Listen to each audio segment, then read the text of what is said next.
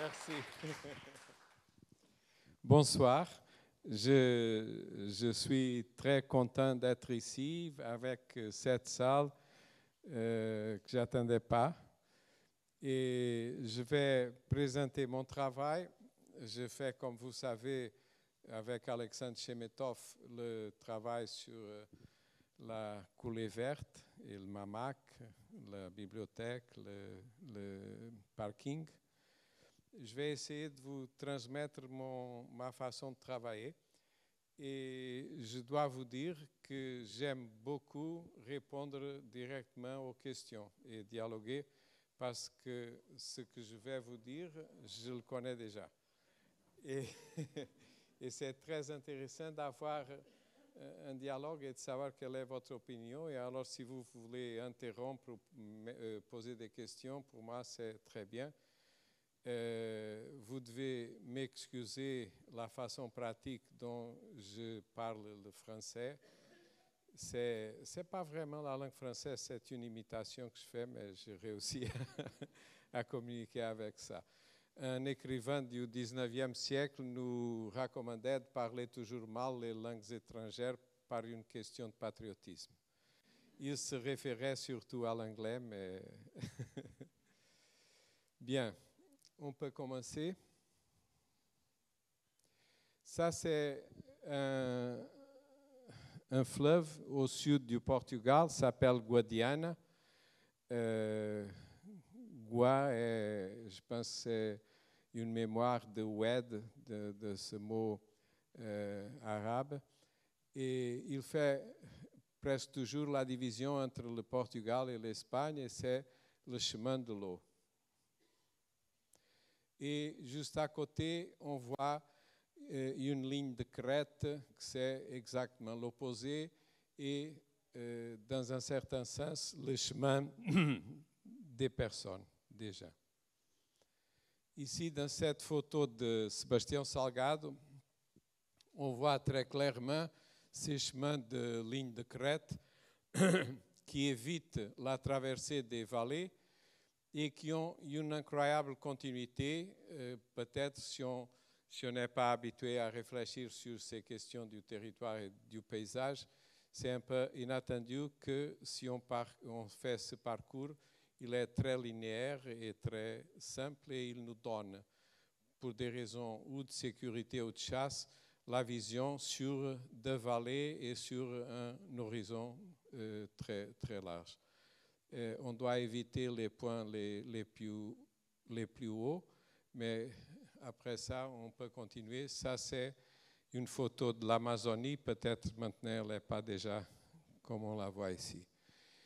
Et même, euh, ça, c'est un travail de Mary Miss, d'une artiste de New York, qui a marqué ces bâtiments en blanc et qui suivent plus ou moins la ligne de crête aussi de, de New York, qui est euh, la, Broadway, peut-être la, rue la plus ancienne de Manhattan. Et c'est vrai que quand on la parcourt, on peut voir descendre le terrain vers euh, l'eau des deux côtés dans les rues et aussi, on a peut-être les moments les plus intéressants du point de vue euh, urbain dans le croisement de la Broadway avec les grilles. Et on peut toujours se souvenir, par exemple, du Flatiron. On peut passer.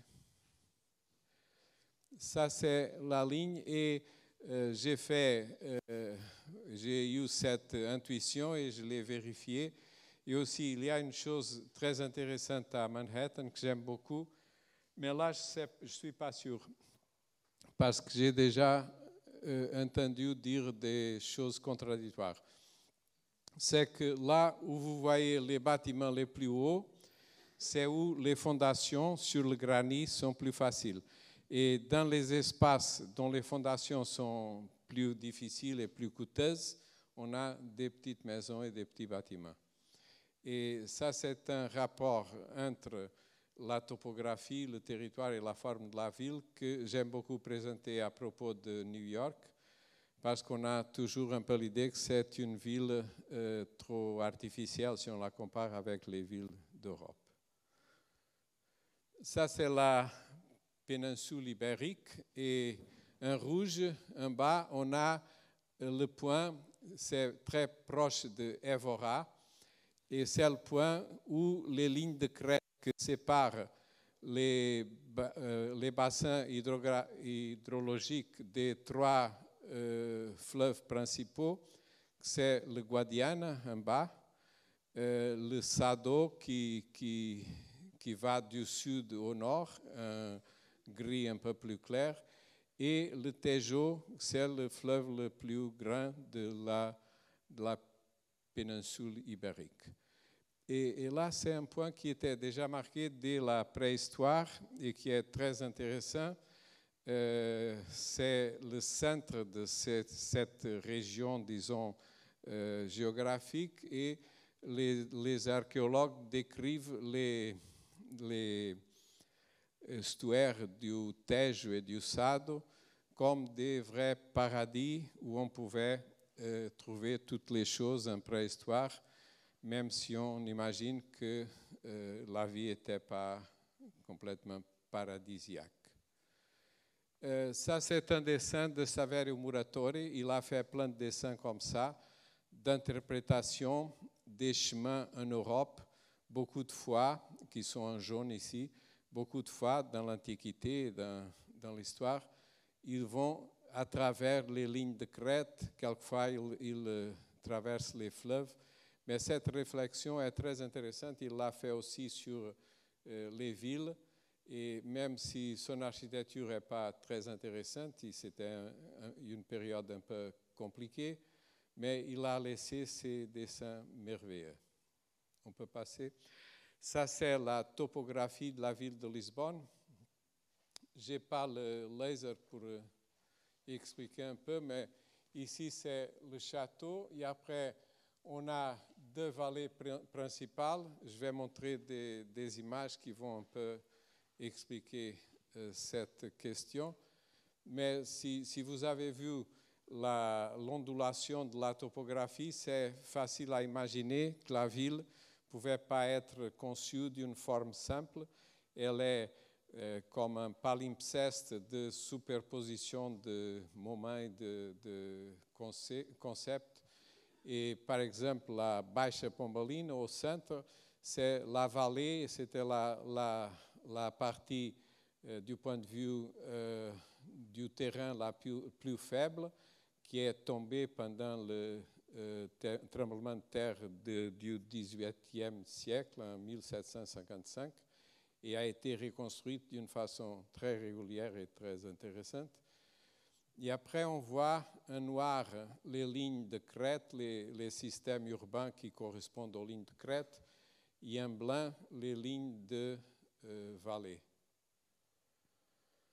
Ça, c'est euh, un plan très intéressant. Un peu après le, le, tremblement de terre, pendant la reconstruction, où on voit que, à part la Baixa Pombalina, qui est un exemple très connu, on a des espaces de urbanisation entre les lignes des euh, rues anciennes qui sont toujours ou dans la ligne de la vallée ou euh, sur la ligne de crête.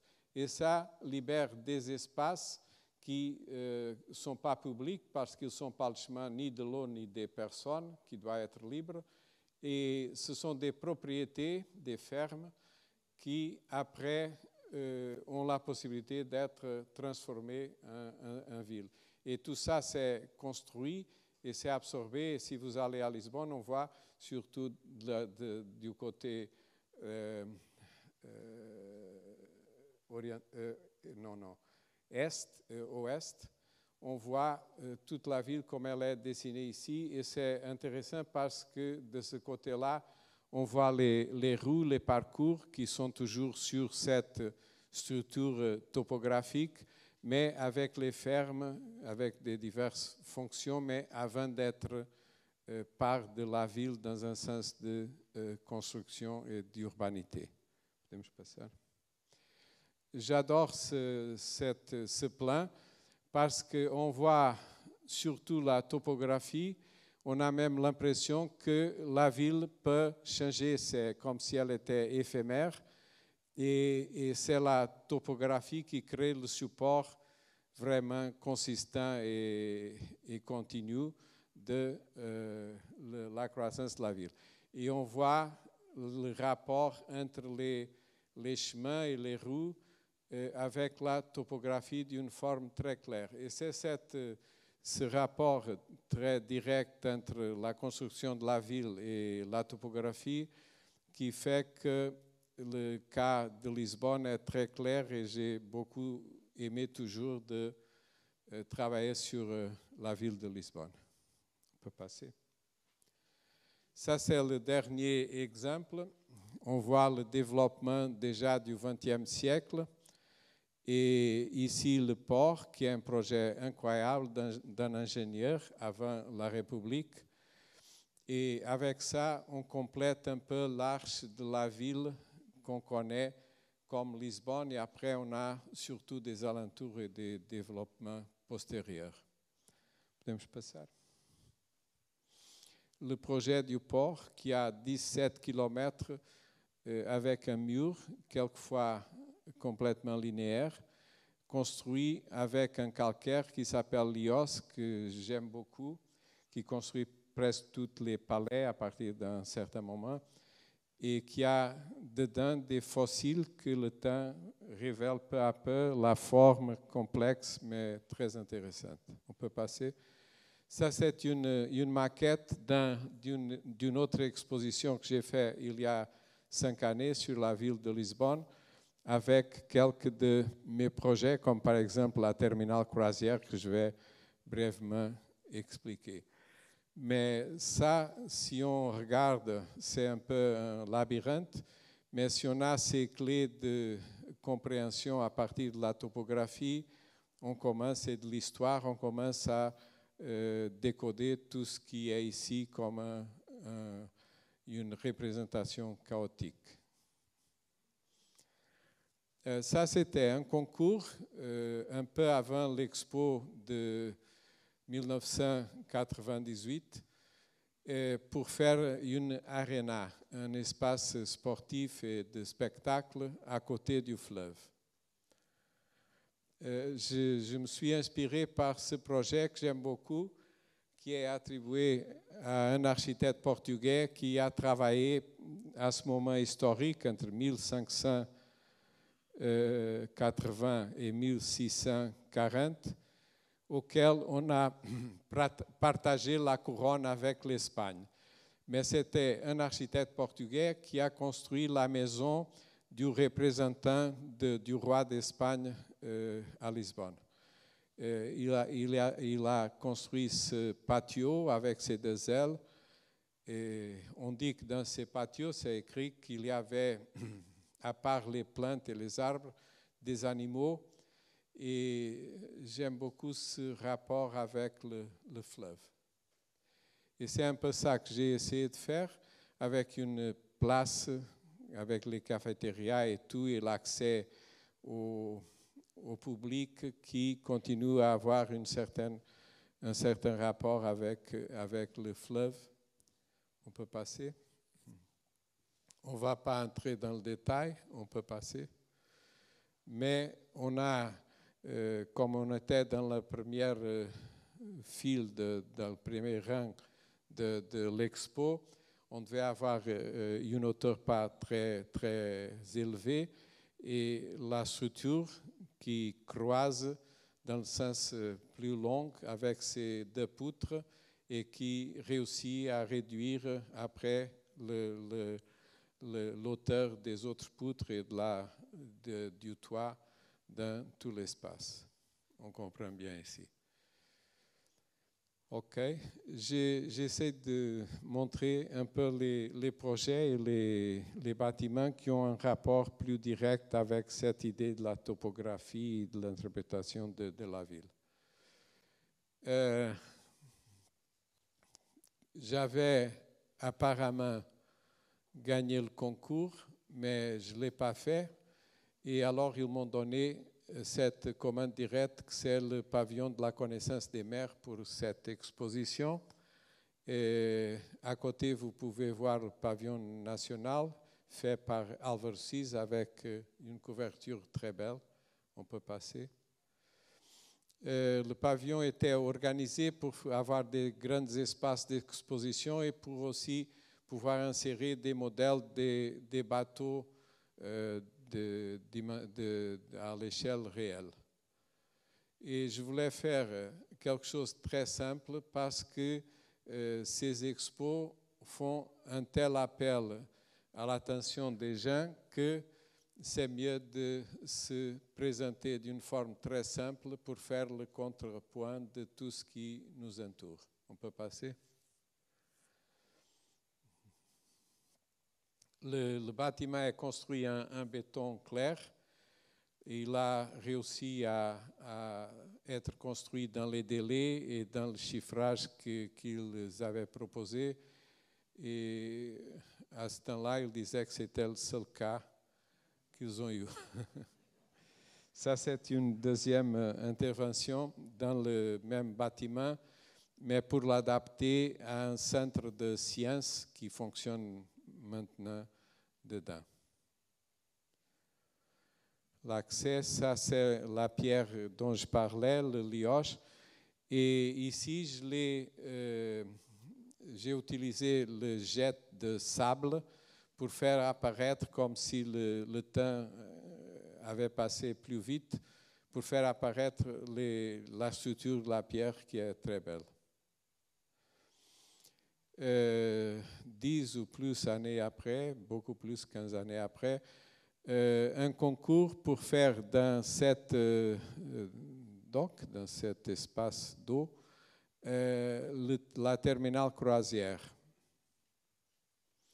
Et ce que j'ai pensé, c'est que c'était intéressant de créer un dialogue entre le bâtiment qui allait apparaître et la ville qui est très belle juste à côté comme un amphithéâtre qui regarde l'estuaire du fleuve qui est appelé à cette partie la mer de la paille parce qu'il est au commencement et à la fin du jour doré par le soleil.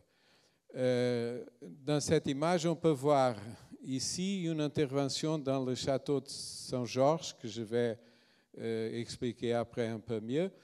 Et au fond, le, bâtiment de la terminale croisière déjà construit. Et je dois dire que je sortais d'une réunion de chantier ici, au château, et euh, j'ai passé par euh, un belvédère et j'ai imaginé que c'était intéressant d'avoir cette interaction entre l'amphithéâtre de la ville et euh, la forme du bâtiment qui s'ouvre vers la ville. Ça, c'est l'ensemble. Jusqu'ici, c'est le, terminal croisière avec, je vais un peu expliquer comment est-ce qu'il s'est construit et organisé. Et après, deux années après, ça c'était 2010, je pense, et 2012, ils ont fait un autre concours. C'était organisé avec la Biennale de Venise et la mairie de Lisbonne. Celui-là était de l'autorité du port avec la mairie de Lisbonne. Et le deuxième concours, j'ai aussi eu la chance de le gagner. Et alors j'ai la responsabilité de toute cette partie de la ville avec une des parties plus belles de la ville de Lisbonne et son rapport avec le fleuve. On peut passer. Euh, ici, une axonométrie on voit que euh, j'ai gardé les murs de, la doc. On dit doc. Doc? Darsen. Darsen. No, ma, ma quella è italiano, no? Darsen. Comme on est à Nice? Ça va. Euh, j'ai gardé les murs, j'ai inséré le bâtiment dans ce système avec un parking et un, un étang de, marée de connecté avec l'eau du fleuve. Et ici, on voit un peu, on va voir euh, après un peu mieux, l'espace, l'autre espace à côté du Terreiro do Passo, qui est devant la Fondation José Saramago, maintenant il s'appelle Largo José Saramago, euh, et qui a un, un espace de parking semi-enterré que je vais faire voir. Ça, c'était l'image de synthèse pour le concours. Euh, L'idée, c'était de faire un bâtiment pas trop grand, il était le plus petit qui est apparu dans le concours international avec beaucoup d'équipes, euh, pour ne pas créer des, obstructions à la vue qui est déjà, euh, disons, de, de, la ville, un rapport avec le stuaire. Et la passerelle qui amène le, les passagers au, au, au bateau de croisière et à ce moment-là, on imaginait que les bateaux étaient cette échelle, mais ce n'est pas vrai, ils sont énormes. Et le vrai rapport, c'est entre la ville et les bateaux, et tout ça sont des détails avec des arbres. Et ça, c'est l'évolution du projet. On fait toujours beaucoup de maquettes pour euh, essayer, pour comprendre bien ce qu'on veut faire. Là, c'est le bâtiment déjà construit. Euh, j'aime beaucoup parce qu'il a euh, ce, genre de vue à partir de la ville ancienne, parce qu'il n'a pas une forme complètement simple, mais euh, je sens, j'ai essayé d'avoir une certaine résonance entre ce qui est la ville et ce qu'on construit dans le port, qui est une réalité tout à fait différente. Le, toit, on peut aller en arrière le toit. Oui, euh, c'est un belvédère parce que la vue vers la ville et vers euh, le, le, fleuve est très très intéressante. On peut passer. J'ai utilisé un béton avec du liège pour le euh, rendre plus léger, même s'il garde euh, des coefficients de résistance structurelle presque euh, semblables au béton normal et il a une apparence et un, il a une touche très douce. On peut passer? Oui.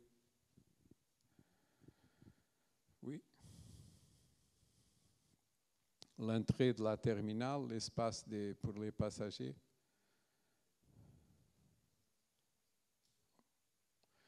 Et ça, c'est l'espace du toit. On a euh, une forme presque naturelle euh, pour accéder au niveau à partir duquel, duquel on voit clairement la ville et, et le fleuve. On commence à voir la ville.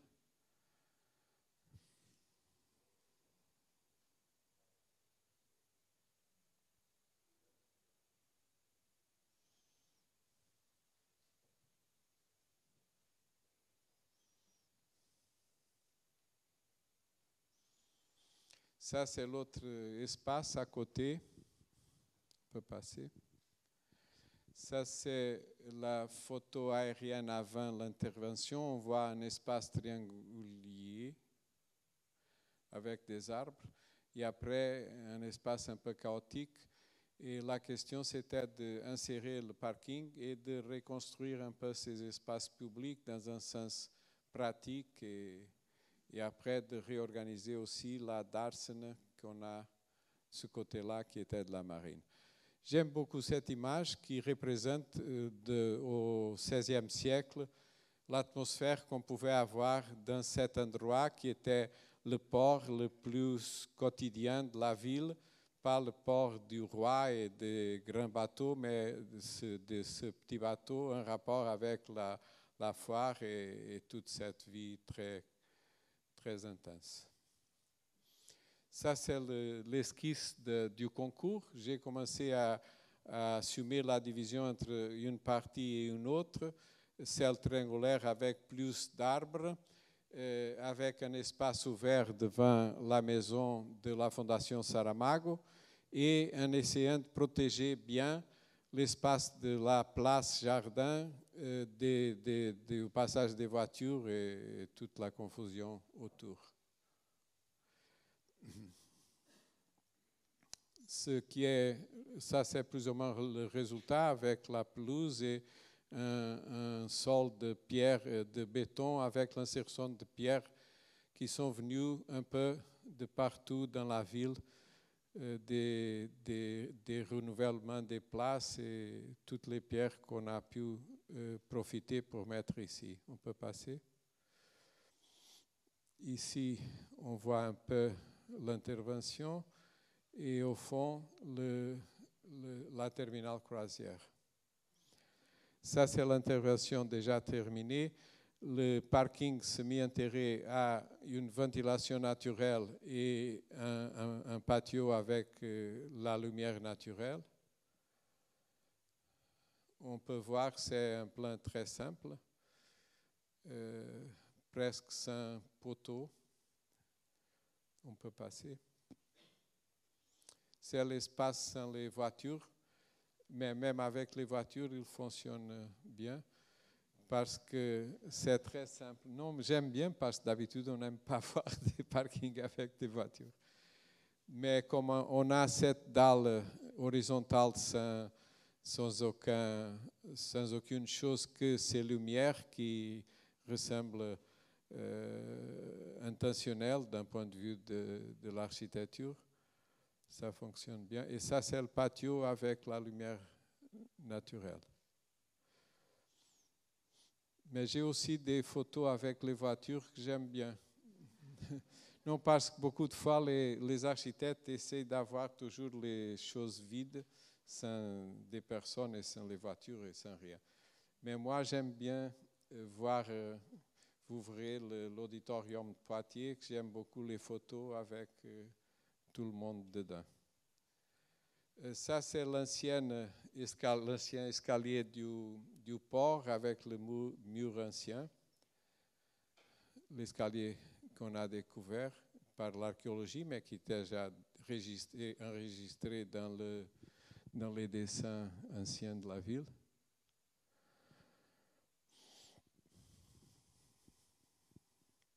Ça, c'était les dessins préparatoires avec toutes les pierres euh, différentes numérotées. On peut passer parce que euh, j'ai inséré des pierres euh, diverses, toujours des calcaires, quelques-unes qui sont sorties de l'archéologie, qu'ils nous ont permis d'insérer ici. On peut passer.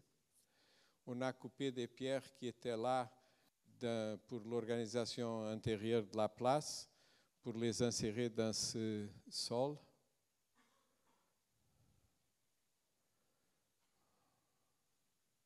Oui.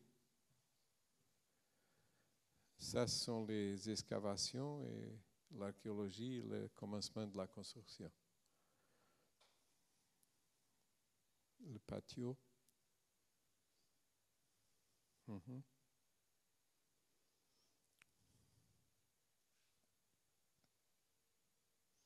Après, dans la Darsena de, de la marine, euh, j'ai construit euh, quatre kiosques et un restaurant. Le restaurant, c'est ça, avec euh, une vue de la salle et de la terrasse vers l'eau de la Darsena et vers l'eau du fleuve, avec ce système. La, cuisine est visible de l'extérieur.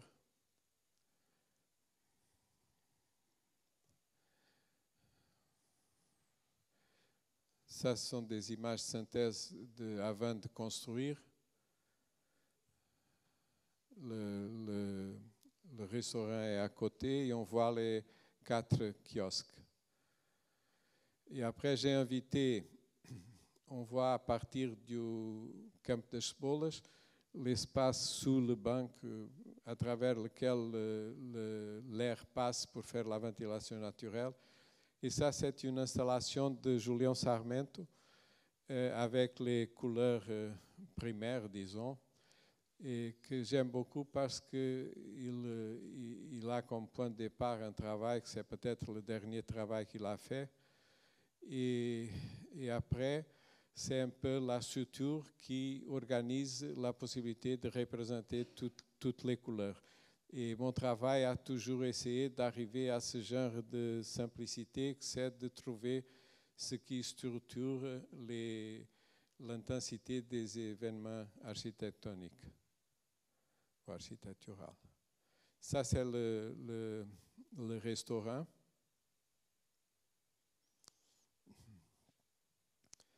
J'ai essayé de faire l'intérieur. J'aime beaucoup cette image, même si elle n'est pas très professionnelle, parce qu'on voit c'est l'église, on voit la ville et on voit le trait de passe au fond. Et je voulais beaucoup faire l'intérieur de ce restaurant, mais j'ai été battu par une décoratrice incontournable. C'est dommage. Ça arrive. Euh, les, kiosques sont très simples. Ça, c'est les phares de, l'entrée de la Darsena qu'ils m'ont aussi laissé dessiner. Maintenant, on, vient en arrière dans le temps pour voir le, château, le point du château dans cette euh, gravure ancienne. Et en bas, on voit l'espace du camp de Sbolas dans l'histoire dans le XVIe siècle. Euh, là, on voit le château et la Praça Nova, la place nouvelle, où je vais faire euh, l'intervention. La ville au commencement du siècle passé est le point où on va intervenir. OK. On voit la situation et c'est intéressant parce qu'ici, on voit les, grands bâtiments de Lisbonne et l'échelle de deux petites maisons islamiques qui ont une importance euh, très importante, très grande au XIe euh, siècle, mille et quelque chose. Ça, c'était la représentation en maquette de, de l'archéologie que les archéologues ont menée pendant 16 années ils ont découvert juste au milieu ces deux maisons islamiques avec des fraîches. Et ce sont des choses très importantes d'un point de vue archéologique. Ça, c'est le dessin conjoncturel de, que les archéologues ont fait. On voit les patios. Et j'ai pensé que c'était bien pour protéger les ruines de simplifier tout ça, mais de le superposer à ce qui existait. Ça, c'est le premier essai en, maquette. Euh, on a réorganisé tout l'espace et on a construit comme si c'était une maquette en vraie grandeur les deux maisons d'une façon un peu en fantaisie, mais très simple. Ça, c'est la représentation de l'archéologie. Euh, le volume des deux maisons. On peut passer. Les maisons construites avec aquapanel et une structure très légère qui s'appuie seulement dans des points où on n'a pas trouvé l'archéologie. Et ça nous fait un peu imaginer la spatialité des, des, des maisons, ces patios et les autres euh, espaces. Après, c'est couvert pour protéger euh, toutes les ruines qu'on a trouvées. Heureusement, les archéologues ont beaucoup aimé cette idée. C'est, disons, un peu figurative et très populaire et tout le monde l'accepte très bien, même si c'est une chose un peu abstraite.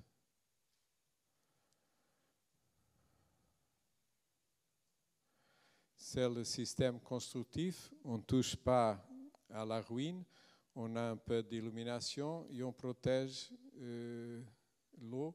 Et même il y a des pins qui laissent tomber les feuilles, disons. Et tout ça réussit à protéger les, les ruines. Ça, c'est le système de construction. À ce moment-là, euh, si j'étais en Italie, les Italiens disent toujours que ça ne serait pas admis en Italie, mais je réponds même pas à Lisbonne, on doit discuter, lutter pour ça. OK? Ça, c'est un amphithéâtre qu'on a proposé, un bois, et qui peut-être va se construire sur, sous les pins et qui va permettre de faire des spectacles et avoir la vue sur le fleuve.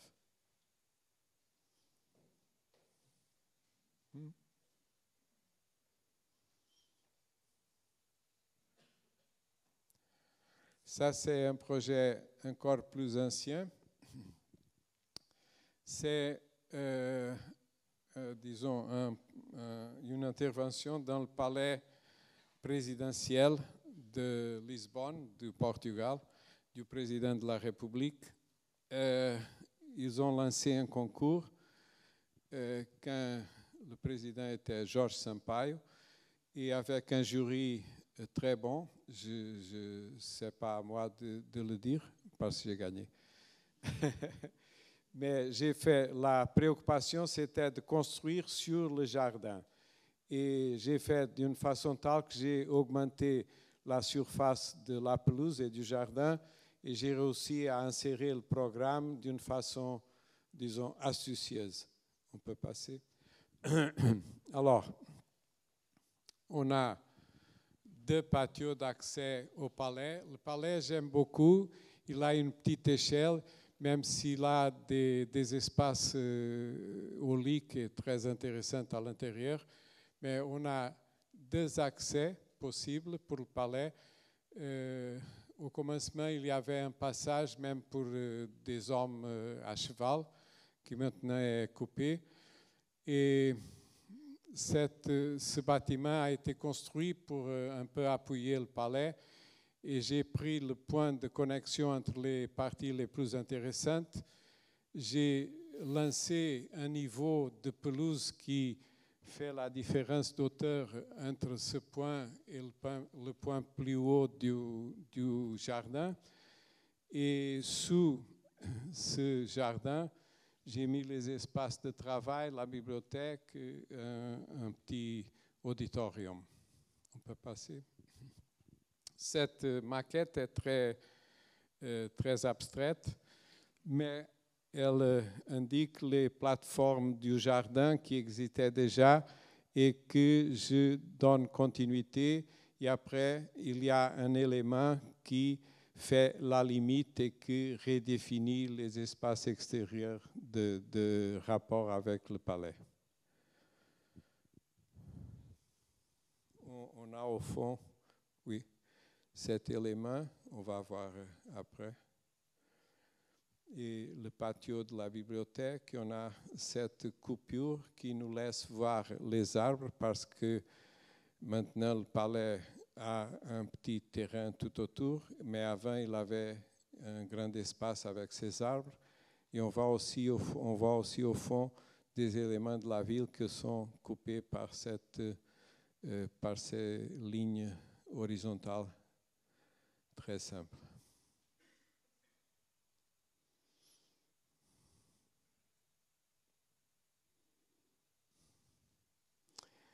Euh, l'année 2000, euh, j'ai été sélectionné pour un concours à, Poitiers, pour le théâtre auditorium Poitiers qui est construit. Ça, c'est euh, une des premières maquettes. Euh, j'avais pensé d'avoir, comme c'est un théâtre et un auditorium, d'avoir ces deux éléments. Et après, comme on a une différence d'auteur entre la rue de la Marne en haut et les accès pour les voitures et pour les livraisons en bas, euh, j'ai inséré au niveau de la scène tous les aspects plus pratiques et de travail du théâtre. On va voir. Ça, c'est le commencement des excavations archéologiques. Et à la fin, on avait cette énorme ce, trou énorme où on a inséré le théâtre. Mais on peut voir que la ville, à part la Banque de France de ce côté-là et d'autres bâtiments comme euh, la préfecture, le tribunal est au fond. Euh, ce, point n'avait pas une échelle préparée pour un grand équipement, un grand bâtiment. Et j'ai toujours essayé de le relationner d'une façon, disons, convenable et un dialogue avec l'échelle de tout ce qui entourait. On peut passer. Ça, c'est le, les dessins de l'archéologie euh, de, la, de deux temples euh, gallo-romains et tout ce qu'ils ont euh, trouvé, les archéologues. Mais j'aime beaucoup l'idée que ça, c'est l'esplanade des temples. Parce que moi aussi, j'essayais de proposer une esplanade ou une plateforme et après d'avoir deux éléments. On peut passer, mais ça, je l'ai compris euh, plus tard, après, après avoir gagné le concours. Ça, c'est un peu schématiquement le, le projet. On peut passer. Ça, c'est une euh, image de synthèse qu'on a fait pour le concours. Et après, je pense que après on a, une image presque semblable du bâtiment déjà construit. Ce n'est pas exactement ça, mais c'est plus ou moins. Euh, ça, c'est la présence de, la roche. Euh, sont des calcaires qui, sont à vue quand on chemine euh, de la gare, c'est le chemin que je faisais toujours que j'allais euh, au chantier, vers le théâtre.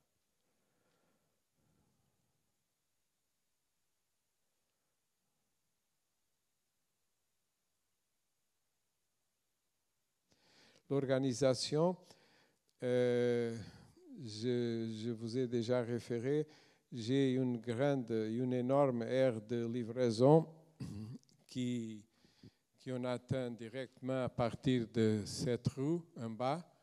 Et l'aire de livraison est au même niveau de la scène du théâtre et tout le travail artistique autour d'un patio avec les salles de répétition.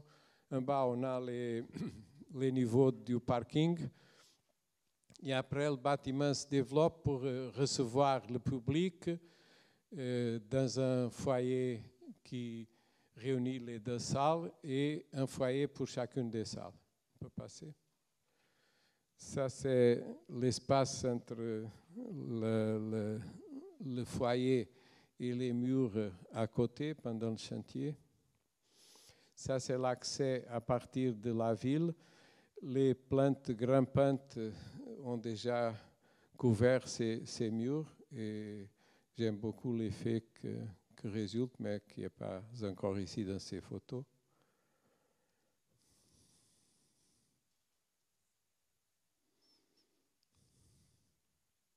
Hmm.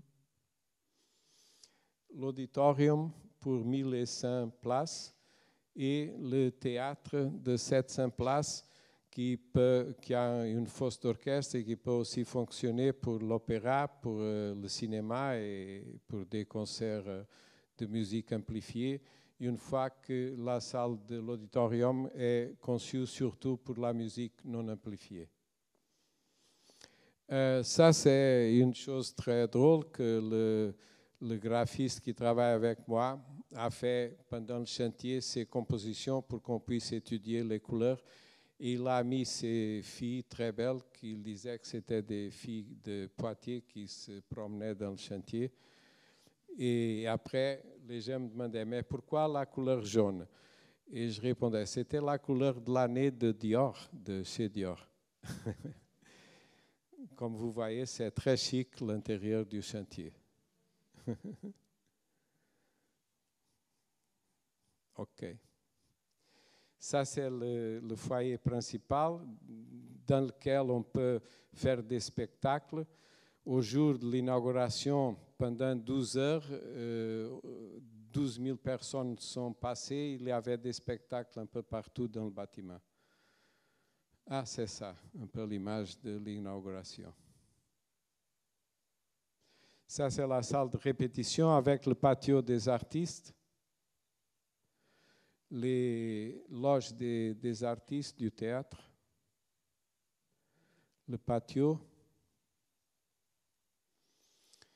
Et on comprend un peu l'organisation. Maintenant, on va voir très brièvement les deux salles. Le théâtre. Le théâtre correspond à l'état de l'art. Euh, Euh, ça, c'est pendant le chantier, c'est fantastique. On, voit, on est dans la scène et on voit l'espace plus tard pour le public. Euh, ici, dans cette euh, conférence, c'est présent Jean-Luc Manouri, qui a fait toute la scénographie. Il m'a beaucoup appuyé dans le développement du projet. Euh, l'acoustique qui est aussi très importante dans ce bâtiment, vous allez voir l'auditorium, a été fait avec Daniel Cummins. Ça, c'est le plan de, l'auditorium. On peut passer. Et la coupe, Cummins a proposé dans le concours de mettre tout le public à plat, parce du point de vue de l'acoustique, c'était beaucoup mieux. Et ça, c'est un risque qu'on a pris et qui était bien accepté par le jury. Ça, c'est une maquette pas très belle, mais qui explique le concept. C'est comme si c'était un bateau en bois et dedans, on a l'orchestre et le public.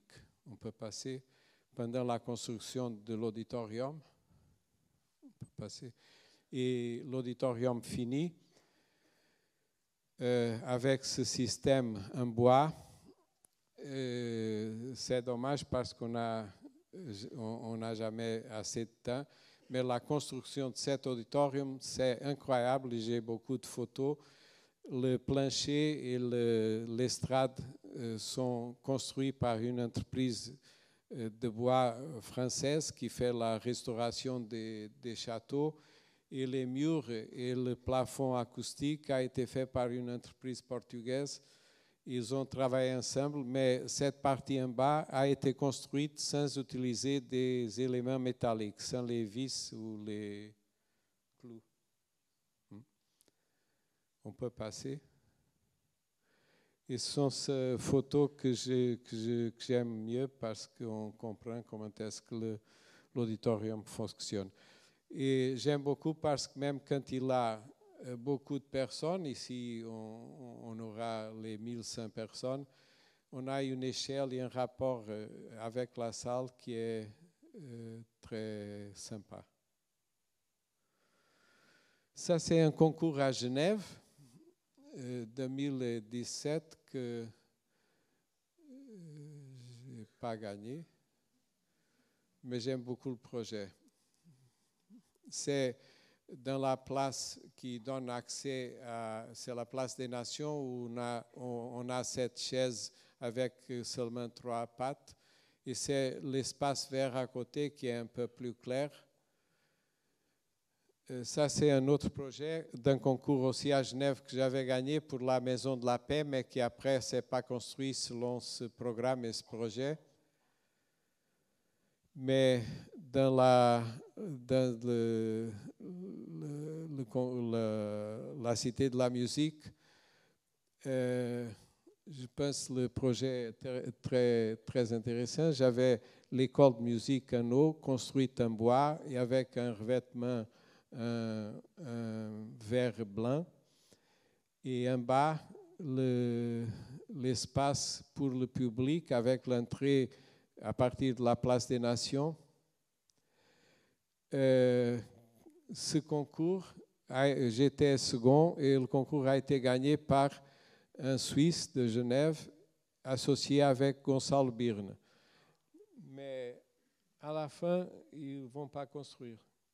Et alors, c'est pas grave, ne pas avoir gagné parce que le, public, les, gens, les voisins peuvent toujours s'opposer à un projet à Genève ou en, Suisse, et alors c'est pas facile. On peut passer, ça sont les différents niveaux, mais on ne va pas entrer beaucoup dans le détail. On peut passer. C'est l'auditorium que je vais montrer quelques images. Ici, j'aime beaucoup cette coupe avec l'auditorium c'est un concept d'un acousticien Kalle, qui est de Belgique et qui j'ai beaucoup aimé travailler avec. Et on a créé un espace très grand pour euh, avoir euh, le temps de réverbération plus élevé. Mais après, on a créé un espace pour le public très proche de l'orchestre et un, rapport très direct. Ici, on voit l'auditorium et là, on voit le système d'accès du foyer. Et ce qu'il nous demandait, c'était de faire comme si c'était une, une ville avec beaucoup d'activités dans l'intérieur. On a parti de l'expérience de Poitiers.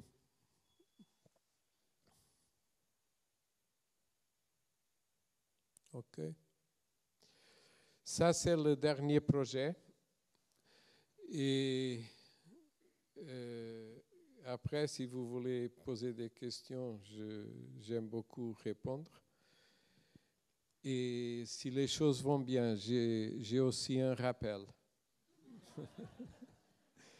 Ça, c'est la montagne la plus haute au Portugal, s'appelle Serra da Estrela, mais elle est très haute, elle arrive à 2000 mètres, c'est pas trop. mais c'est une, montagne très belle, euh, granitique, et à moitié de la hauteur, je pense euh, environ 800 mètres, on a une ville et la ville a beaucoup de difficultés de circulation parce que la, topographie est très complexe et les gens euh, ont besoin d'aller en voiture d'une part à l'autre.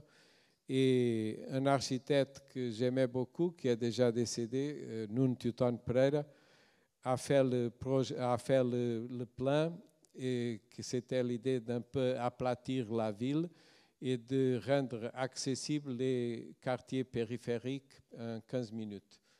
Et ils m'ont invité euh, à faire ce, ce, pont. En bas, on a un espace de vallée énorme et après, en haut, on a la Serra da Estrela et euh, un petit fleuve qui coule.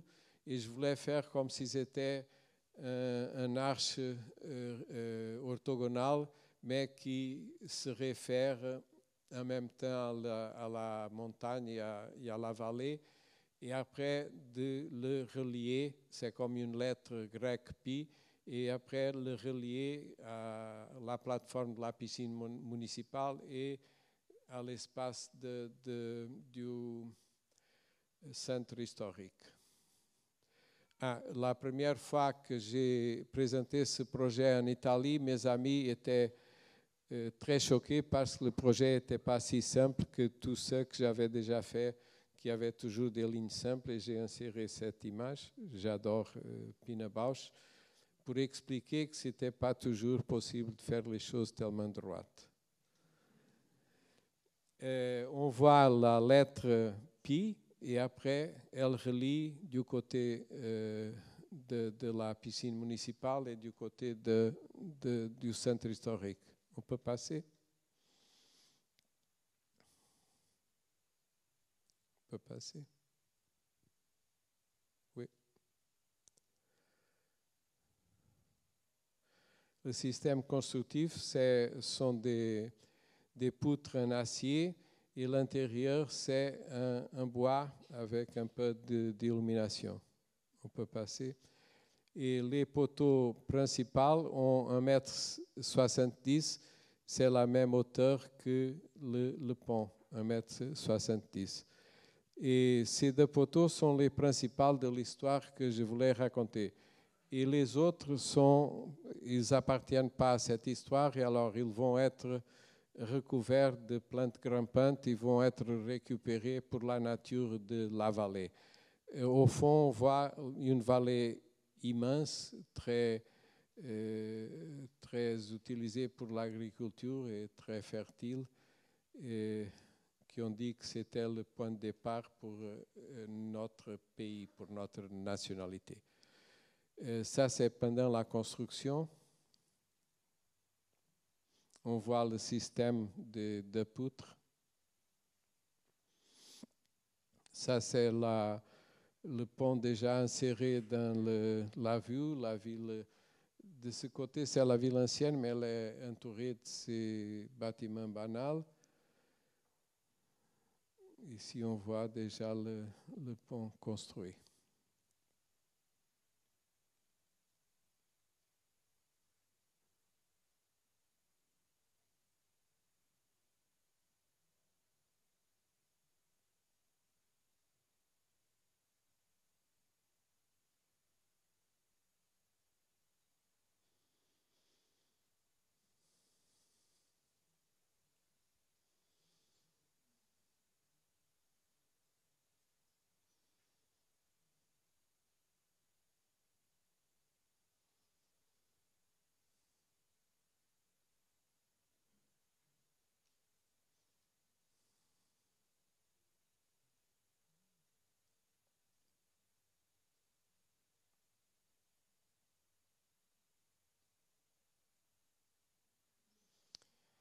Il y a plus ou moins une année, je suis arrivé à Nice pour faire le concours. On peut passer. Euh, et j'ai commencé à comprendre la structure et l'organisation de la ville que j'aime beaucoup. Et maintenant, on travaille dans le paillon. On peut passer, c'est les dernières images, avec les lavandières que le chevalier protégeait un eau dans les Alpes en attendant les, les eaux. Merci.